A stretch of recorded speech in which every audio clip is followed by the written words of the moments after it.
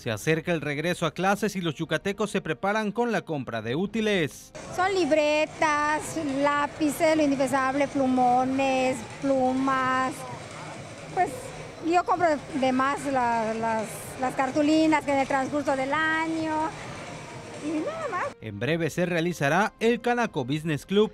Decidimos poner este tema porque sabemos que las empresas que, que lo atienden tienen mayor aceptación en los mercados ya que cada vez los consumidores son más exigentes con las marcas, al preferir en igualdad de condiciones a aquellas cuyos procesos están calificados en el cuidado ambiental. Legisladores buscan mantener el liderazgo de empresas yucatecas en el ámbito internacional. Hay un trabajo del gobierno del estado que ha puesto las bases ya avanzado y que solo puede tener una respuesta, continuidad anuncia en la Asamblea General de Clausura del 11 Consejo Estatal Ordinario de la CROC.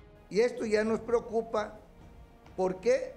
Porque ahora nos está ganando ya la nueva generación de trabajadores que entran